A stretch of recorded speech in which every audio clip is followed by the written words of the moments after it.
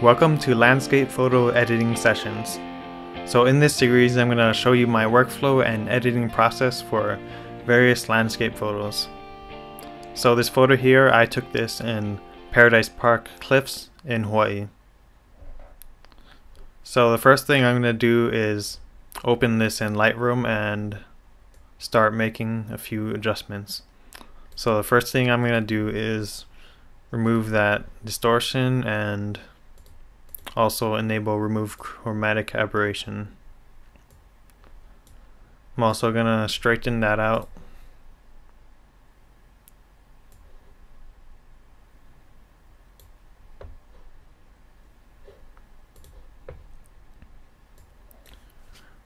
Alright, the first adjustment I'm going to do is increase the vibrance and saturation so that I can adjust the white balance.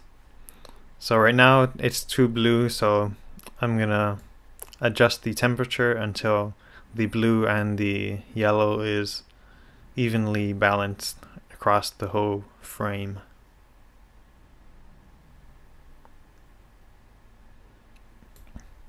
Alright, I'm gonna also give it a little bit more magenta. I'm gonna reset those two vibrance and saturation. Alright, I'm gonna add a medium contrast curve and reduce the highlights all the way and increase the shadows. So for this image I want to balance out the sky and the foreground. I'm also going to increase the contrast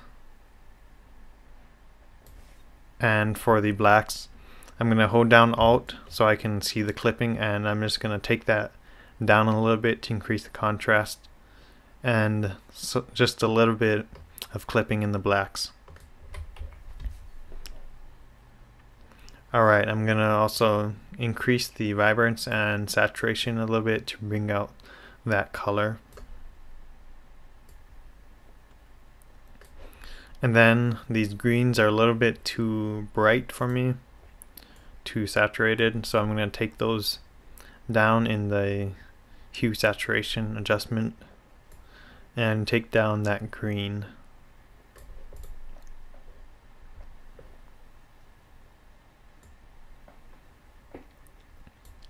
Alright, I'm going to use a graduated filter and for the sky I'm going to take down the exposure and I'm gonna set that down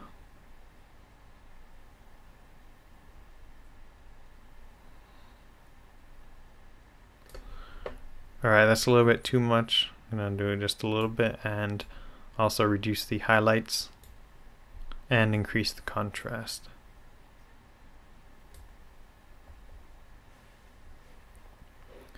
Alright, now I'm going to use the adjustment brush tool and start making some adjustments.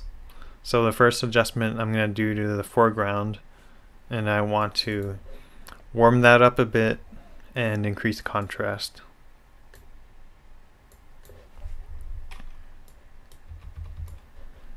So I'm just going to paint this along the foreground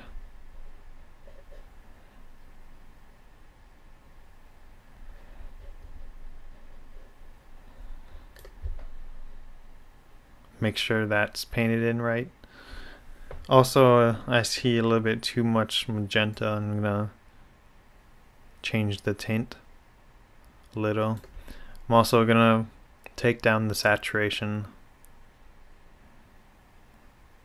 increase the shadows a little bit, and increase the contrast.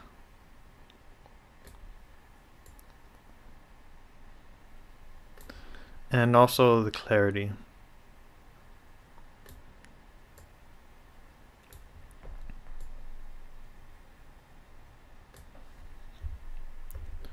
Alright, for the next brush, I'm going to adjust that wave. So I'm going to hold down Alt and click on that reset to reset the brush. And for the wave, I want to increase the contrast and warm that up a little bit.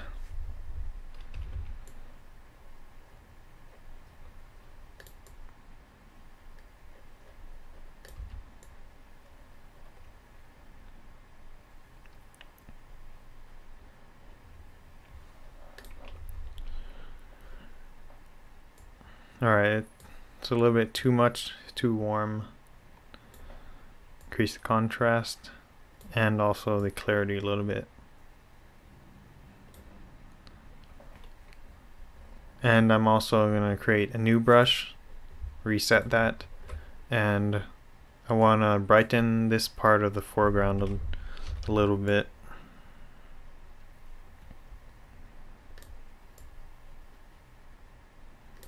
I'm going to take down that saturation a little bit. And the highlights.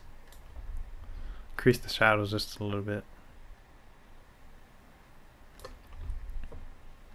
And take down the exposure a little bit. Okay. So now I'm gonna bring this into Photoshop.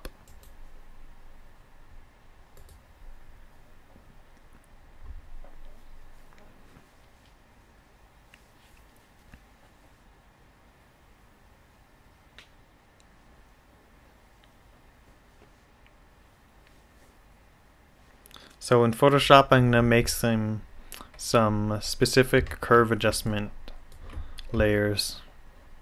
So what I want to do is increase the contrast in this waterfall part of the image. I'm going to do that by adding a curves adjustment layer and getting the exposure picker and picking a dark part of the image and a light part and I'm gonna add a S curve by taking down the shadows. Alright that looks good and I'm gonna invert that layer mask with control I so that I can paint that in with a brush. So I'm gonna use the soft white brush and I'm gonna paint along the part that I want to be affected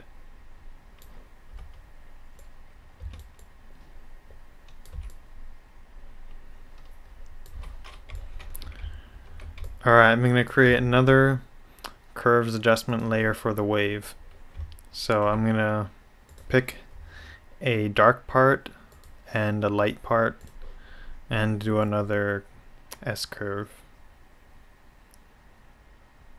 I'm just going to do a little bit, a slight S curve, invert that mask and use a white brush and paint along the parts I want to be affected.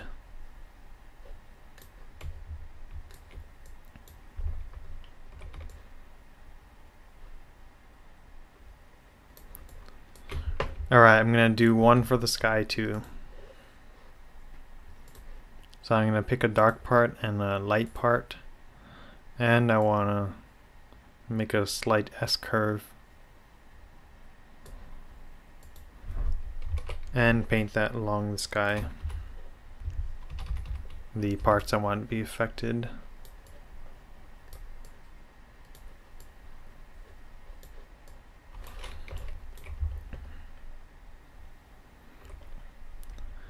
Alright, so that's pretty much it for the adjustments and now I'm going to show you how I process this for uploading to social media. So I'm just going to go ahead and merge all those layers and I'm going to use an unsharpened mask to sharp do a global sharpening with the fine or with the full resolution image. So my settings are about 100% 1.5 radius and threshold I'll do about 2